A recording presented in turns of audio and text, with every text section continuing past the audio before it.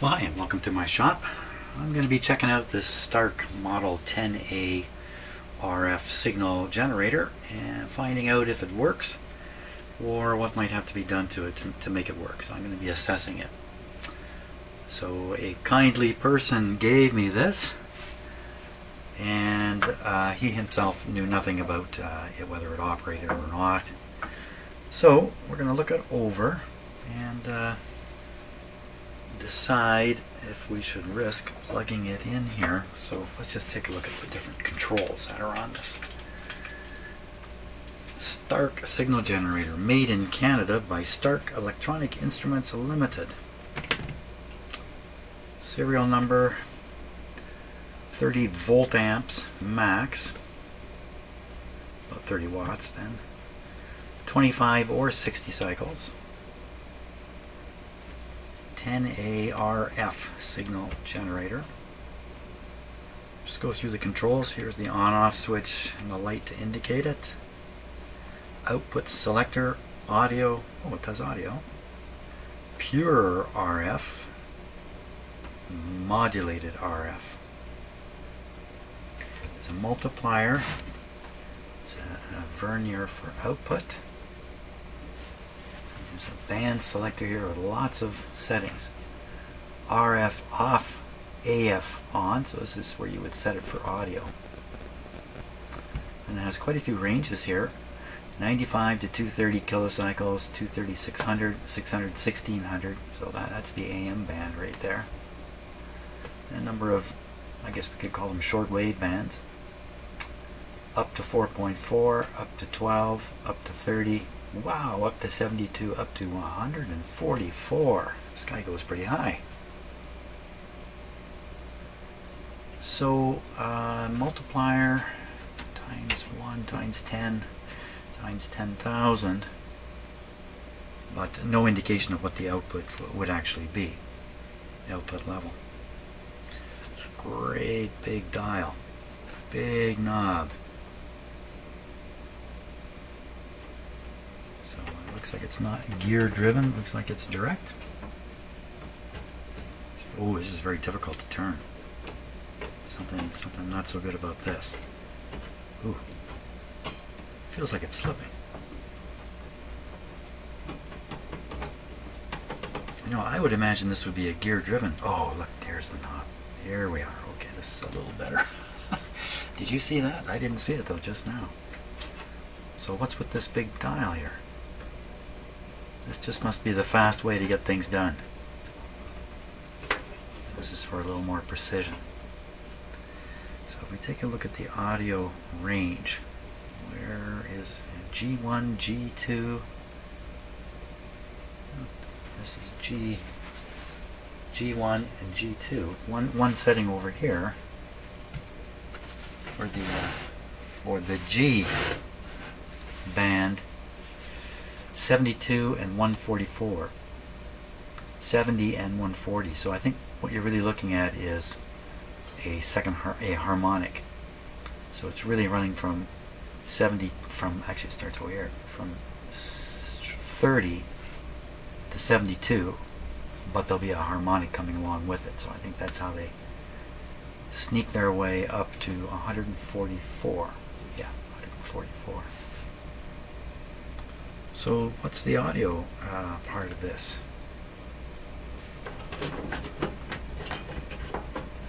This around has the stopper.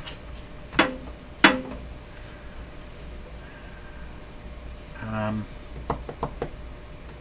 well, perhaps the audio is a fixed frequency like 400 or 1000 or something like that. Some fancy designs here. Not sure what all that means. Must have had an artist on staff when they were designing this. Well, there's not much more to see, I don't think. Let's take a look at the power cord here.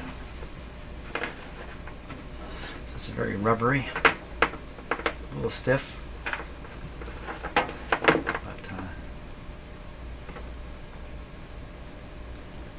so I'm looking to see if there's any serious cracks in it, exposing the conductor definitely, it's definitely some, some more superficial cracks.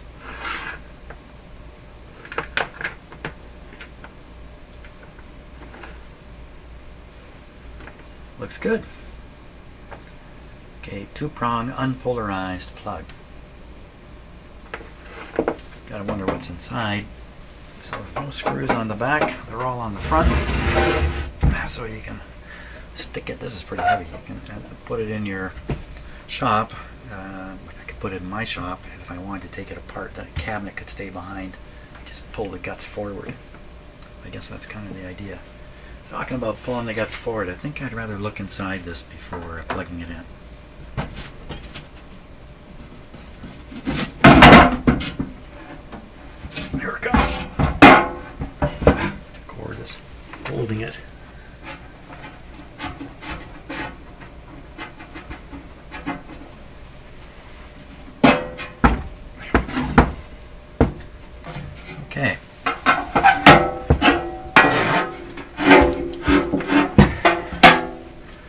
The first of more cabinetry.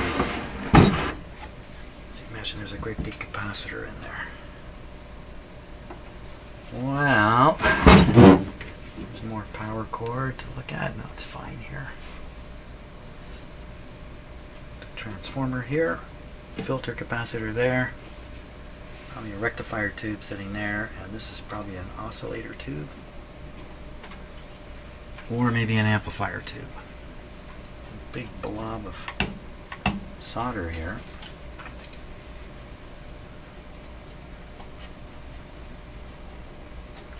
Really rusty, really rusty. Very rusty. So I imagine there's a big capacitor in here, so all the parts are going to be over here, I think.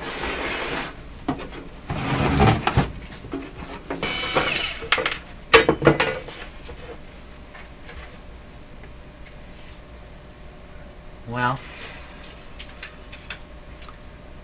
to plug in or not to plug in. This capacitor is going down to the uh, cabinet and is connected to one side. The plug is unpolarized, so you could easily plug this guy in and have this be the hot wire and all you've got between the hot wire and yourself is this capacitor if you touch the cabinet. So a lot of old equipment is like that. A two-prong plug system uh, is something you need to be concerned about. These old paper capacitors cannot be relied upon. Should we open up the big box? Should we open up the big box and look inside? Well, I guess that's something I would do sooner or later, so I might as well do it sooner. I would guess this is from the 1940s.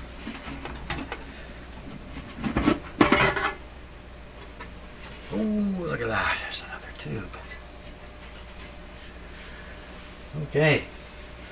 We should look inside the box because sometimes there's money in there. No, there's no money in the box. So we have the coils and we have what are, I assume, adjustable capacitors here for some kind of alignment. We've got coil here and, and another loop kind of looped in through it. I don't want to touch any of that or change any of it because it's probably critical for operation. Um, yeah, not a lot of parts. We've got a, a couple of uh, what would probably be just fine capacitors, but this one probably not. Probably needs to be changed. Tuning capacitor is disappointingly ordinary.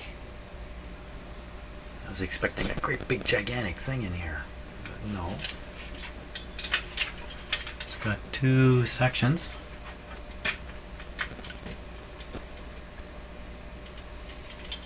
And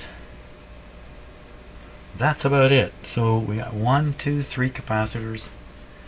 I don't think there's anything else here to be terribly concerned about. Okay, I'm going to replace those three capacitors and then we're going to give this guy a go. Let's test these capacitors I took out. I, I like to test the capacitors I took out. Here they are. To give some kind of judgment about their condition. I don't like to just assume, you know, that they're bad. I just did a radio where I left most of the capacitors like this in after taking a couple out and finding them to test really very, very good. Plus, the radio was working really good. Really don't like to do unnecessary work, so that's a 0.01. So what we're going to do here is we're going to apply some voltage across the capacitor.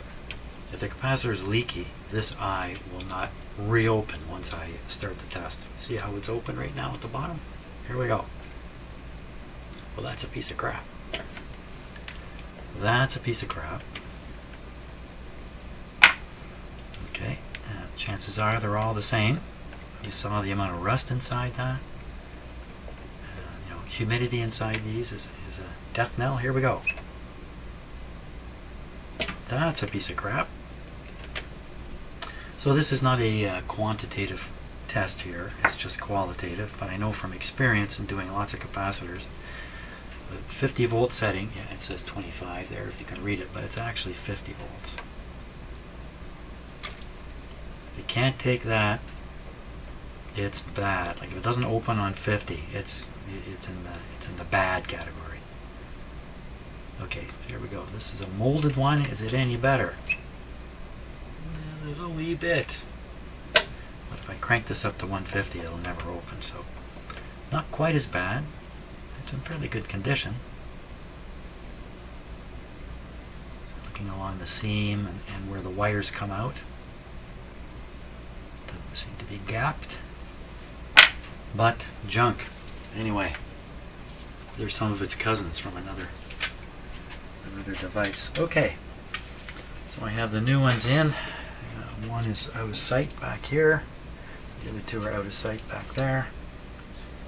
So I think I'm to put the boxes back on. Wait a minute. Where did this come from? Did I just test the wrong capacitor there? That's odd. Um, I'm pretty sure this came out of it.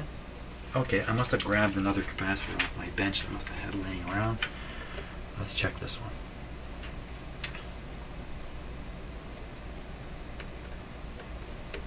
50 volts, what do you say? It opened part way. So yeah, it's a worse looking one. It's working slightly better, but still in the garbage can category.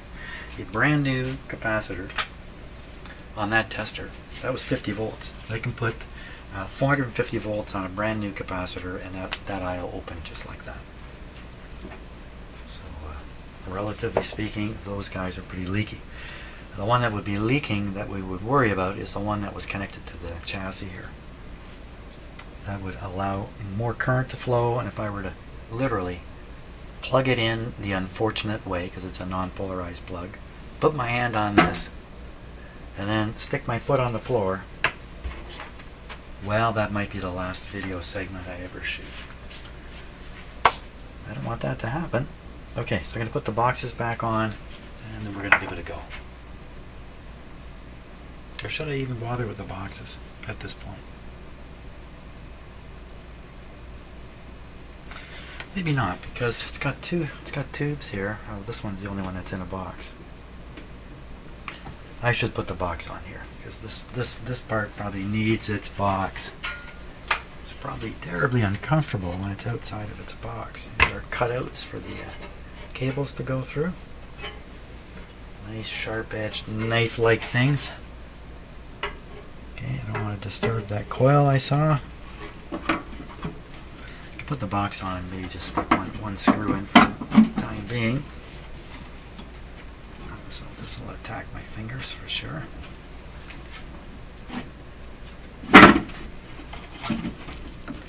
Very snug fit.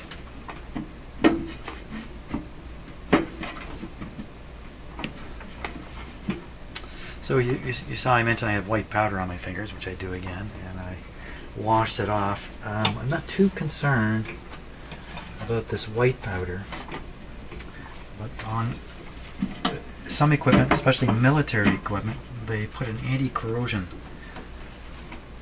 coating on the top of metal parts. It's usually a greenish color, and that goes powdery.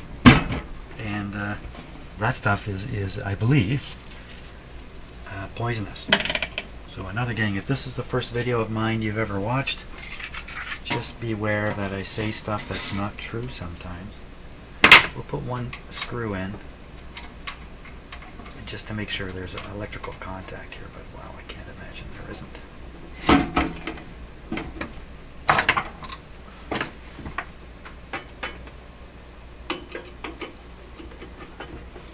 One screw just in case. Okay, now we're going to flip this up. Don't think it needs to be back in its cabinet necessarily, but that might be a good thing to do with it. Or lay it right on right on the surface and carry on. Or let it sit on this edge. We can, we can do that.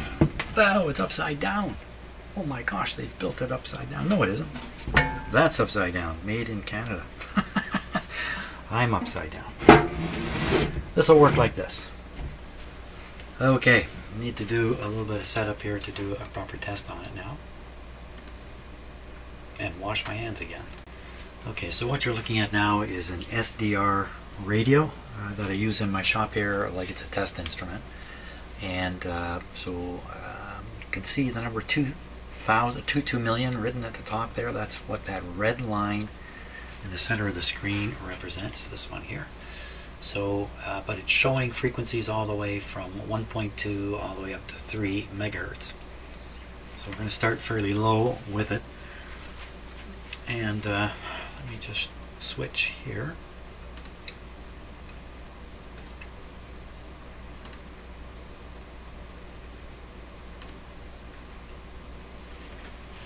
Okay, you can see the uh, radio image down in, in the lower uh, right now.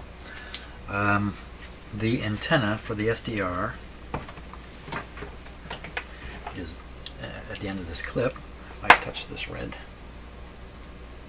deal, SDR is just a little slow because it's a computer thing, it's processing. So we're going to put that on the bench here. Now I have a cord, I think these are called Amphenol, are they not? I'm going to put this into the output. I have not plugged this in yet. Okay, tighten that up, good. And rather than uh, connect this directly to my SDR radio, it's a radio, right? So, it, you know, it's very sensitive. So I'm just going to put these in close proximity to each other, and the way I'll do that is I just clip this here. Clip it on the insulation. And hopefully not lose track of it. It's kind of a stiff cord here. Let me lay it way over here. That's good. So hopefully that'll show up on the SDR once we get this going, if we get this going. Now, practice session. We would want this on pure RF, I guess, to start. We'll dial up, I'm, around 2 megahertz, so we'll pick this 1.6 to 4.4. We'll turn the output down to number 1, and we'll leave the multiplier at 1 to start. That would sound like a very, very low output signal to start. Maybe too low for my SDR. Okay, I think we're ready. Now, uh, in my shop here, I'm not going to go into details about it, but I do have arrangements done so two things are safe about doing this kind of thing. Uh, one is uh, this is plugged, it's going to be plugged into an isolation transformer. So the fact that it's an unpolarized plug and the issue about the case voltage, not critical as long as I don't connect any equipment to it. All the equipment in my shop is solidly grounded to the uh, power system neutral in my house. But not this. This is uh, essentially floating. We could think of it that way. And is there anything else I haven't got right? And everything else looks good. Well, we should dial this. So we're going to want to get around 2. So that's a 1.6 to 4, or the D. The D, yeah, you got to read this upside down. So 2, 2, that's 2. And that, that's where the red line is. So we'll put this right on 2. We'll see what happens. Okay, so the other thing about uh, the safe starting up of old equipment is what if there's a dead short in this thing? Um, so I use a dim bulb system. If you watch my videos, you know all this, so don't listen. But you can see a couple of lights back here. The idea is uh, when I first turn the power on, I'm going to send it through those lights to the bench plug. And uh, if there's a short, then those lights are going to come on fully bright. They're going to stay that way. This thing will probably come on. The lights will, come on to some degree. Then they'll go, you know, this is only a 30 watt machine, so I'm going to undo one bulb here.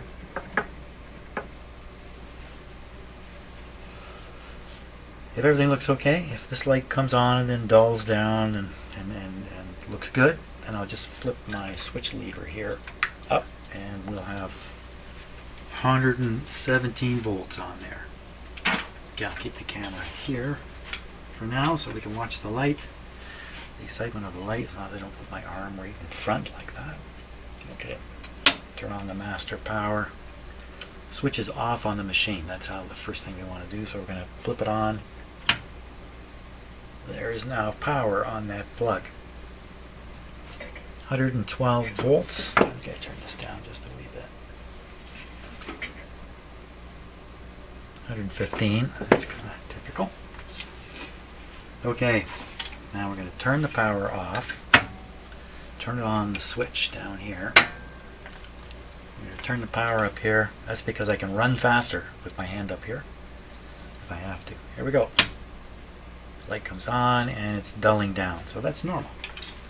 The red pilot light has come on. We can come over here now. So I'm going to leave that light in the circuit. The light has hardly got a glow on the filament. It's not dropping much voltage. We're at 90, 91 going down, 88, 86. This is the tubes are starting to conduct. It's drawing more current. The little light bulb back there is just a wee bit redder. It's a pretty low voltage, uh, probably too low. 87, 88. Did anything happen on our SDR? I wasn't even watching. Now, all those peaks you see on the SDR, let's go on the better better screen here.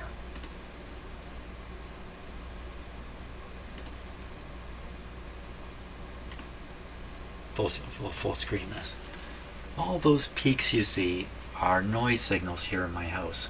Right, you can see where the AM band is over here. And look at that. It's just full of crap. Um, yeah, too bad. Can't do anything really about it. But hopefully the signal coming out of the signal generator will be much greater than that.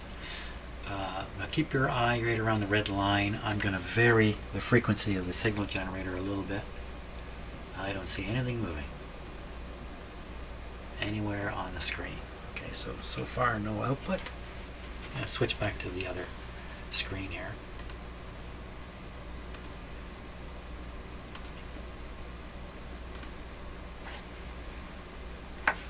I, I guess I should say other view. Okay, we're to crank up the output level and watch the SDR, see if anything shows up. We'll, we'll, we'll, we'll go right from here. I could have sworn I heard something. My imagination. Okay, now we're going to take the multiplier and we're going to put it right up at the top. Put this at zero. Watching, watching again, the SDR. Anybody home? Any signal showing? These are large jumps. Okay, it does say zero here. Let's turn this up.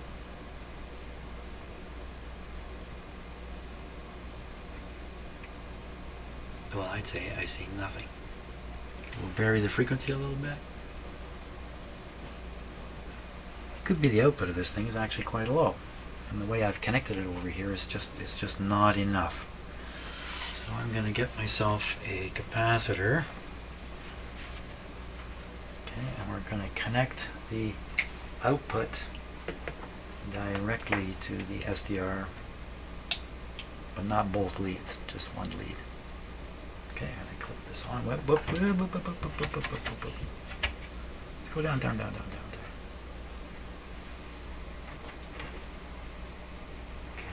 Gotta be very careful here about holding various things at the same time.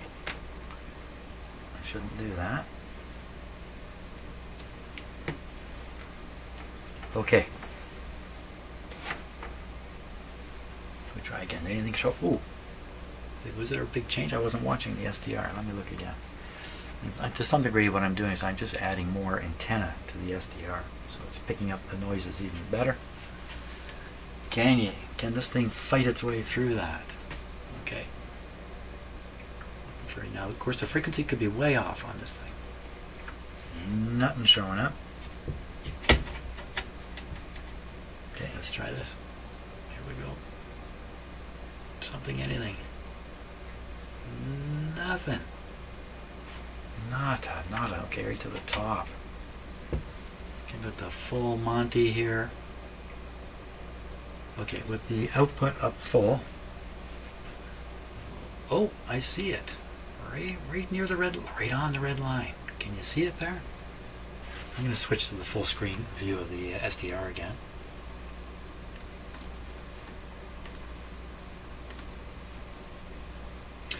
Okay, so look right in here. Not, not way up here. Just right in around here. And I will vary the frequency. You see him running around in there? He's having a hard time. Having a hard time. But it's there. It's very low signal. So what I'm going to do is I'm going to reduce the output. Let's try the multiplier first. Pretty much got rid of it, just about. Reducing the output, reducing the vernier control too. Now I'm going to join the SDR ground wire and the ground wire of the device and explode. You can see that reduce the amount of uh, just general interference. You can see it on the waterfall display. Okay, so on the lowest multiplier, the times one, upping the output power varying the frequency. Oh yeah, there it is. Okay. Well, now I'm going to set the machine so it says 2. It says 2. And the actual frequency is very close. We, we can measure it on the SDR here if I just click like that. It's about 2. Wow, that's within like a percent or two. Wow. Okay, let's go up in the quiet zone here, up around 2.6. Just putting the red line there so I don't lose my way. 2.6, so we'll go to 2.6. Well, that's quite a ways on this dial. I will stop right at 2.6. There. Look at that. It's right on top. Wow. Who'd have thought, eh? That's incredible. Can I'll go to the other screen here.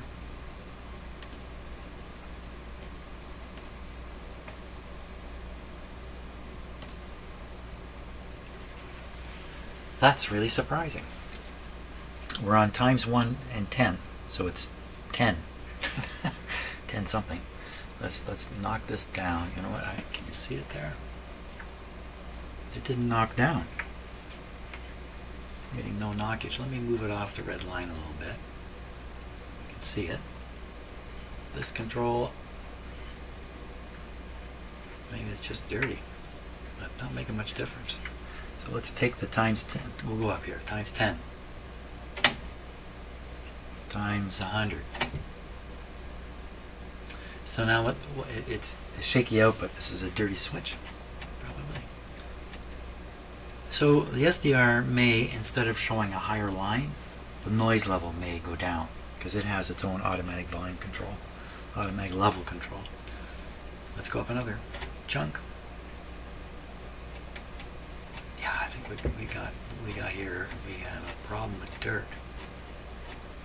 Notice the frequency is not jumping around though. That's uh, that's pretty good. Let's go right to the very top.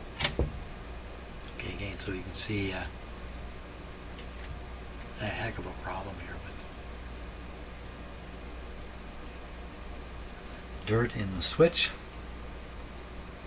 Okay, why don't we go up to a nice high frequency? We can go up to, uh, we'll go this 12 to 30. Let's watch what happens on the SDR. It just disappeared. You can see on the waterfall that it disappeared. 12 to 30, which is F. F is right here. Where are we going to dial in 15? I just want to keep turning this big knob. So that's 15 megahertz. Okay, we'll leave this up here. Now I'll retune the SDR to 15. Just have to click these numbers here. There it is. How much you want to bet? That's our guy right there. Okay, vary the frequency a little bit. Okay, that was a bad bet. That's not our guy. 15 is actually here in the middle. And now, could you, uh, now, let me turn up the output. Could be it's way off, it's just off on the screen, could have dirty switches here.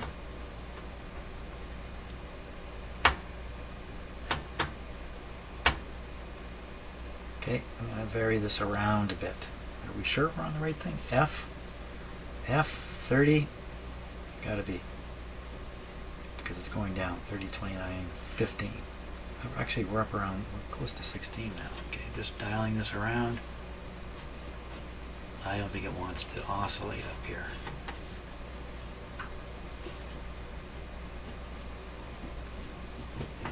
Find it anywhere. Could just be dirty switches though. Let's go up. Where are we here? We're, we're going down actually now. 13. Yeah, I don't see much happening. Let's go down one band. This is uh, 4 to 12. So we'll, we'll dial in, let's say, uh, 10. 10.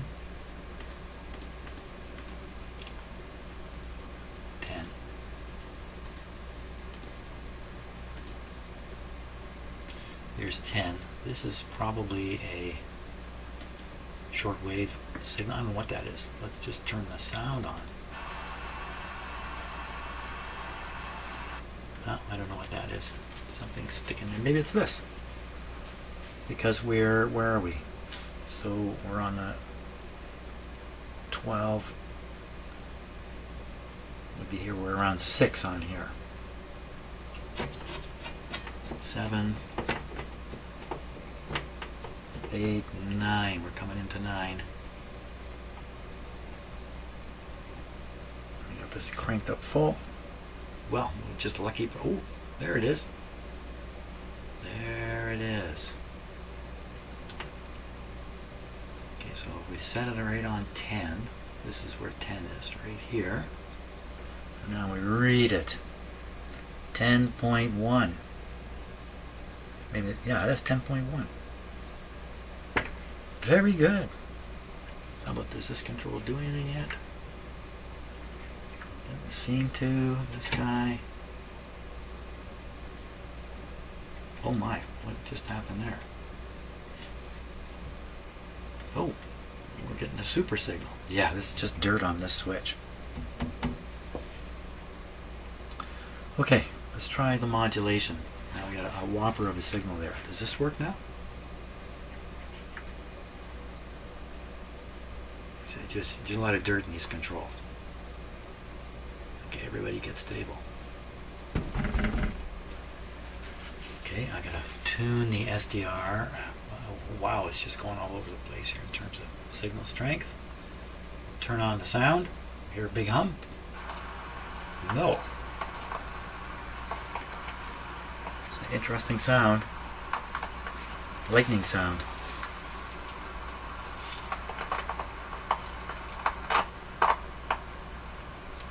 That's probably the switch. Let's touch it a bit and listen.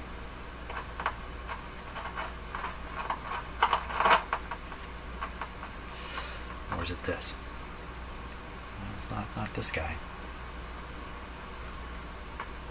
It's this guy. Well, easy to clean that up and solve that problem. Okay, so we're listening to it on my SDR. The SDR is set to amplitude modulation. This has just tuned itself off here a bit. Okay. Hear it drifting a bit. If I put this on, let's say, uh, low upper upper sideband, let's try CW. Okay, it sounds like we're in a submarine when I run it this way. Let me let me use this dial. This is on pure RF, but because it's on CW,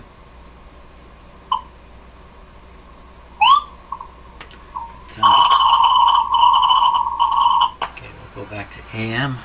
We'll turn on. Poor guy. Oh, he's old. Okay, we're gonna flip it over to modulation. God diggity dog. Okay, we'll take the volume down.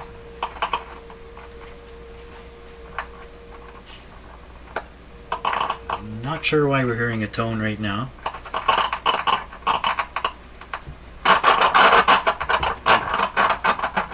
Maybe one of these others is a little less.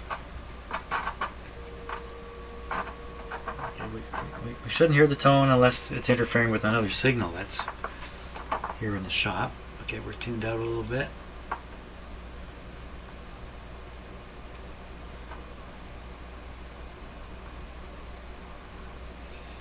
Uh, something's not moving at times. There we are. Modulation.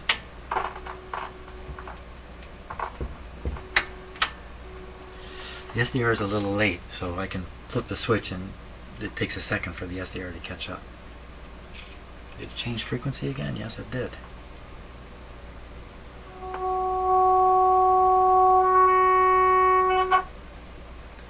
That's pretty lovely. See lots of interesting shapes on the SDR uh, waterfall. So now, what is all that? Uh, that's a good question. They're all joining together now. They're all they're going to get together right here. I think that's an artifact of the SDR itself. Uh, it has, I mean, the waterfall has multiple things that you can see. So I'm not quite sure why it does this, but it does. I don't think it has anything to do with this. Perhaps this is overloading the SDR. Go down. Now it's quite low. Let's see if we still get those funny shapes. We do not. So I think we could attribute the funny stuff going on to overloading the SDR. This is an, called an RTL SDR and it was originally designed so people could plug a small uh, key into their computers and this SDR radio, RTL SDR radio would pick up television. But guess what? The television's kind of gone away in that respect. But other people figured out that they could take that SDR, SDR stands for Software Defined Radio. So the radio's operation is defined by software. Chances are you know all this. And uh, through clever development of software, they turned the television receiver into a general radio receiver, and they are a ton of fun. Dirt cheap and a ton of fun. A ton of fun to use. Okay, is there anything else here to check out? I don't think so. Just got to clean up those switches. And this guy is uh, probably not going to find a place in my shop for regular use. Um, maybe maybe I should uh, I should stop. I'll do the switch cleaning and whatnot, and we'll see we'll see if it just kind of neatens everything up. Great. Okay, looks to me just taking out these screws should pop this top off.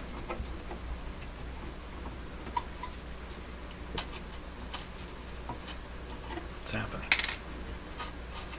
This whole thing is loose. It's not so good.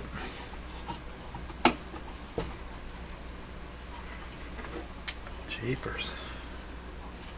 This is bent. This is a bent sheet. Oh, we're going to bend it up. Okay. And I see a switch in there. I need the light.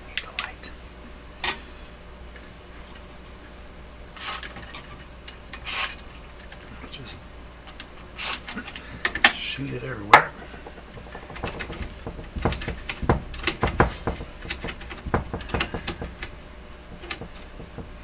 This is probably the one that was giving trouble though.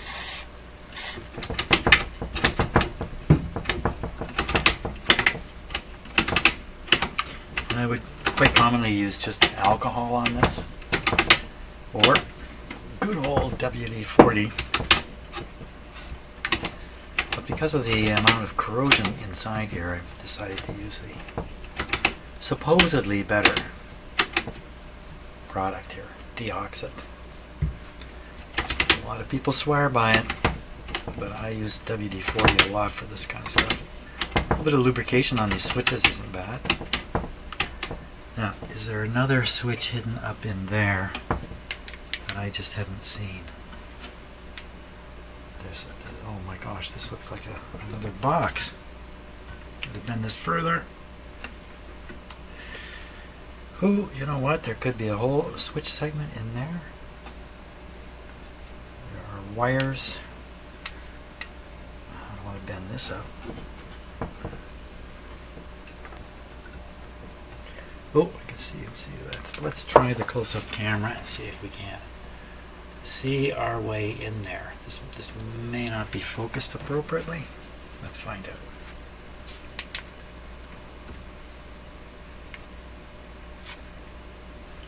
What's in there?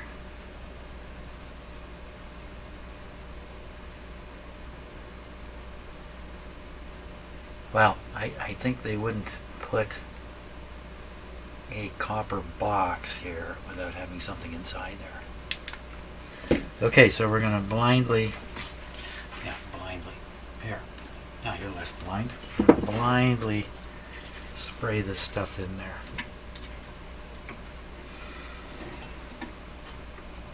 How am I going to get this to spray? Ah, like that. Okay. Not sure what I'm aiming at. Generally, you don't want to hear people say that. Here we go. That's a big whack there. It's expensive. Th th this stuff is expensive. Mm, WD-40 not expensive. Water displacement formula number 40.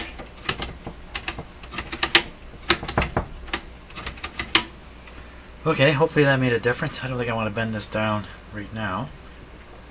We're going to leave it up in the air.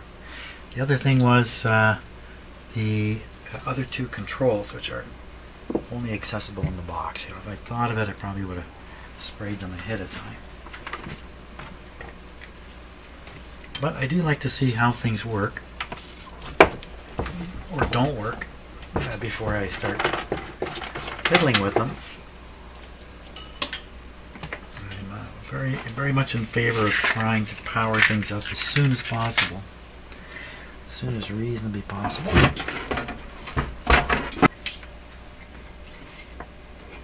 Tip this up.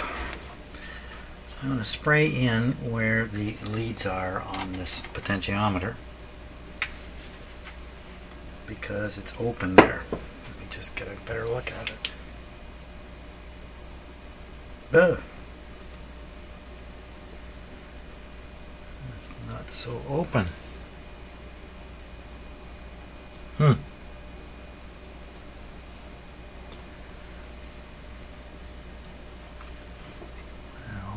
Like that? So uh, most of these are kind of open where the terminals come out.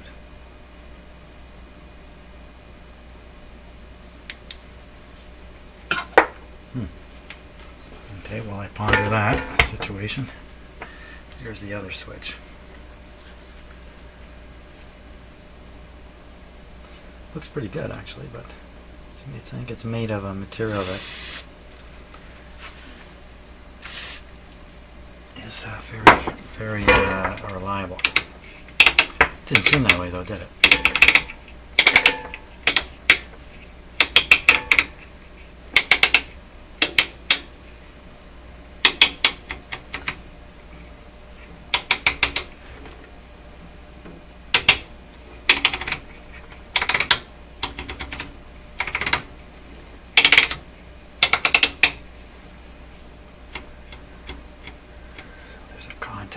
right here.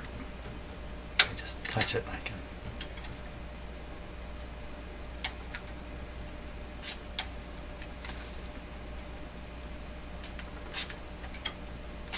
I, I I find this shoots a lot of gas. Hey, some people might say that about me.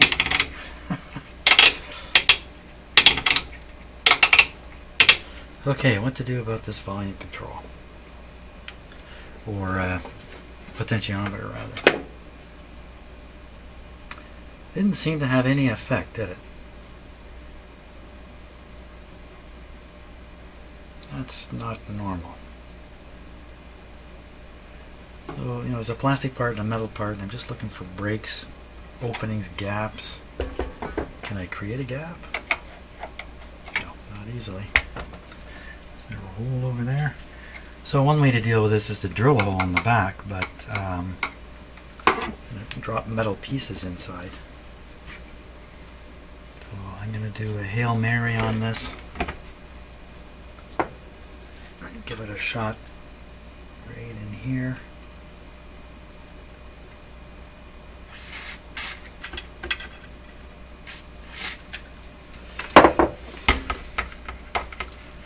Somehow I didn't think anything. But if it's that sealed up, it probably is okay. Why it doesn't seem to adjust the level, I don't know. Just looking at the resistors in here.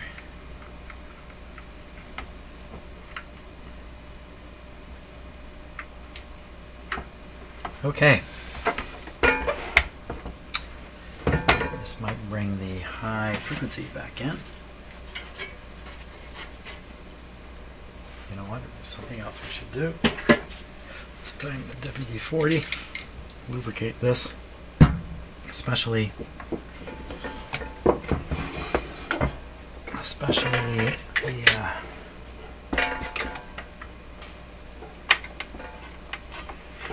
there's some gears in there.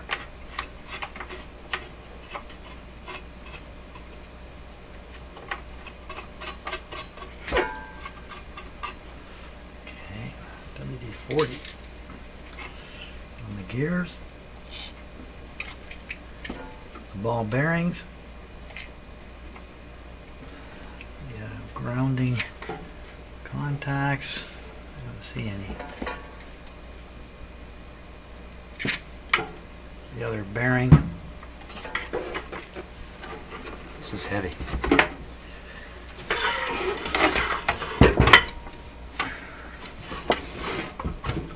Okay, just getting gravity to work in my favor. Watch out, tube.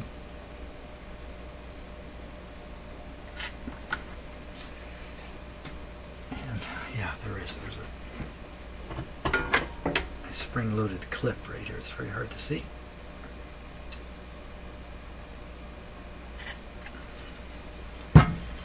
Okay, let's just turn this a little bit. I'm going to turn the big wheel.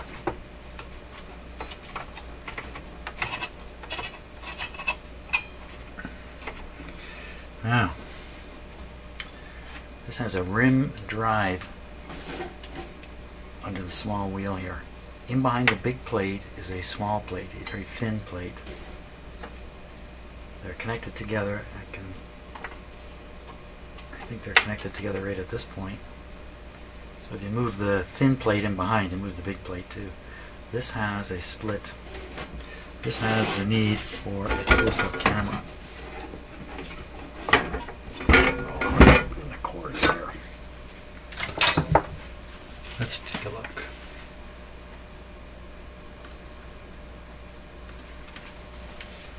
Because uh, you need to be careful with oil. With uh, where's the camera? Here it is. Okay, so looking up at it. Right there. So this is a pinch pincher here. Pinching the plate. You can see it up in there. So when you turn this,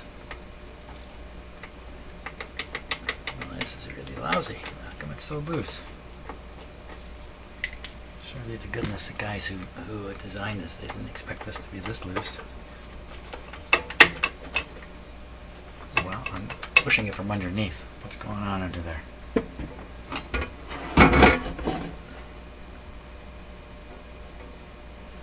throw a little oil on that. Is that thing loose? Get on here.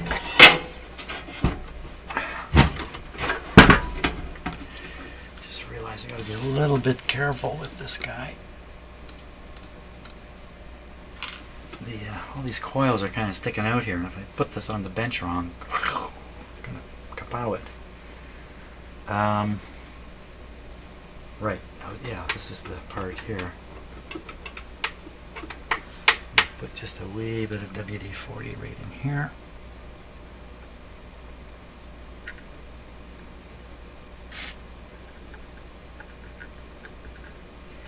And we've got uh, up here too. Where? Turn this.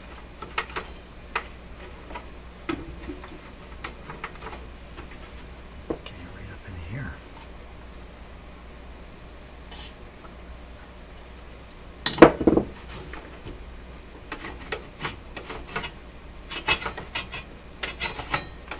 It's going to sound terrible and feel terrible pretty much no matter what I do.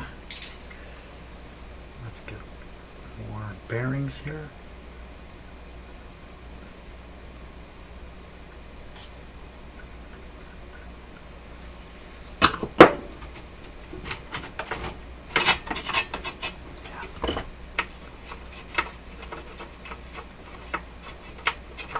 So you would not want to get oil or grease or anything on the uh,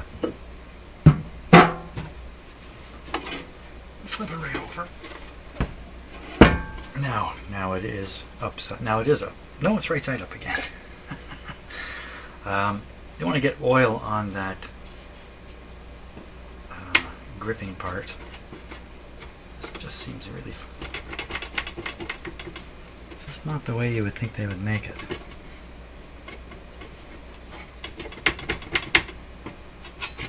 This big, big dial can come off. Let's take the big dial off. Big dial. Need a fairly strong screwdriver. This won't fit, will it?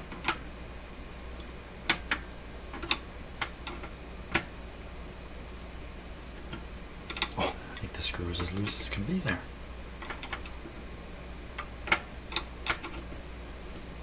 Yeah. Okay, I'm about to put this right on the coil just as I was talking about. If I'm not careful now. Ooh, it must be rusted on. We're not going to force it off. There's not much advantage. Maybe it's loose because somebody else did this. And left it loose.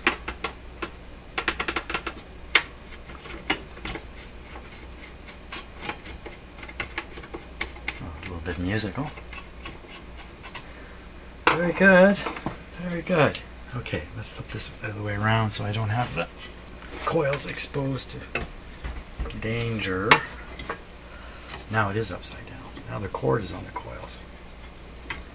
One way or another, I'm going to bust them. Okay, so there's probably an alignment thing that needs to be done, but it sure, sure seemed pretty accurate. And you can see I don't have to depend. Hey, this is partially out. I don't have to depend on the uh, unit itself. I, I, I have frequency counters, and the SDR is a great tool for uh, keeping track of things like that.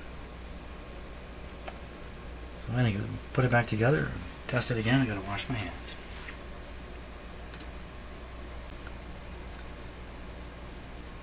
Okay, I think we're ready for another test. SDR is around 10 megahertz. We'll start there.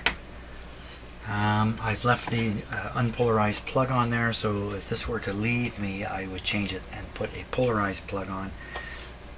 Even though that might not guarantee, I think it probably would guarantee safety with this if I did that.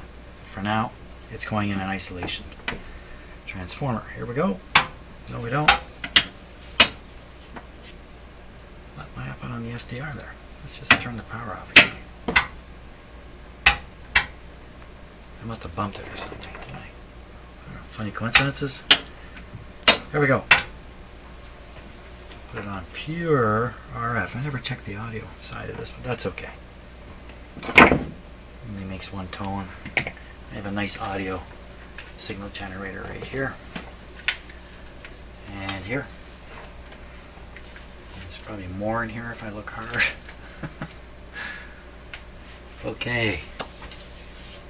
Did it already come up with a signal? So where are we left here? We're at zero, and we're at times one, and we're RF off. Well, that's, that's, that's not going to work. You got to get up to 4 to 12. I think I see it there. Change the frequency a bit. No, I don't know what I saw. The actual number we're dialed into, 4 to 12 would be 7. Let's go up closer to 10. There it is. Okay, we'll swing this right in on 10. And we'll read this. Okay, it's pretty much the same. 10.15 is what it's at. Very close. How about this? Doesn't seem to do a thing.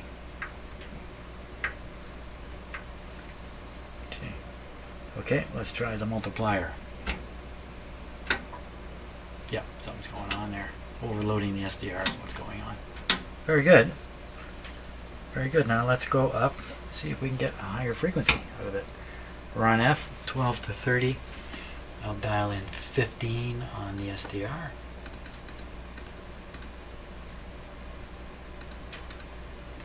The red line is at 15. And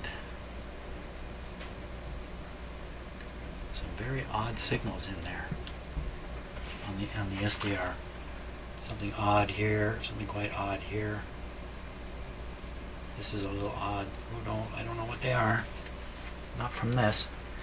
So 15 we will find 15 right over here. Did I get there? 15. Here we go.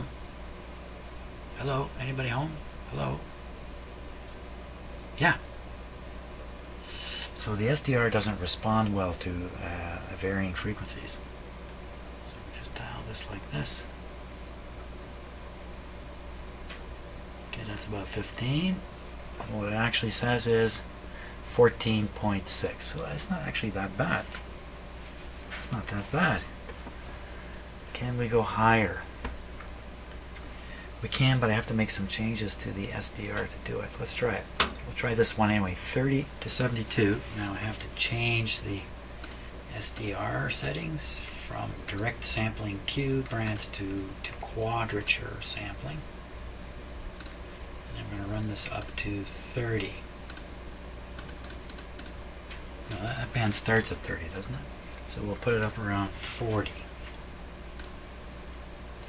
I have to change this is the thing about the particular SDR I have. It has two antenna inputs, and one below 30 and one above. So I have to actually move the antenna. Bit of a hassle. Okay, here we go. So we're on the 30.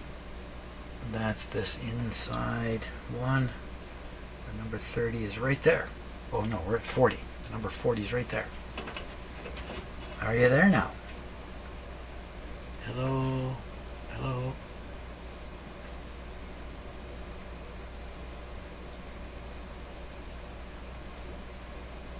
I don't think I saw it. I'm at 45 now. We're going to put this up, up, up, up. Get it to works. Did something on the SDR, didn't it? 40. 40 down here. Hello, 40. Well, doesn't seem to want to show. We're connected. Oh. So something's popped up at 40.7 when we're on the 12 scale. I'm sure it's from here. So that's that's a uh, going to be a uh, harmonic put this right on the 40 mark best we can. Okay, that's good enough. And what are we actually dialed into? 20. We dial into 20, we get an additional 40. Probably get a 60, an 80, and a 100 out of there too. Very good. How about a little modulation? Just turn the speaker on here. Oh yeah, there it is. As you can see, it widened out on the SDR a little bit. The sideband trying to come up. Okay, there we are. The Stark Model 10A.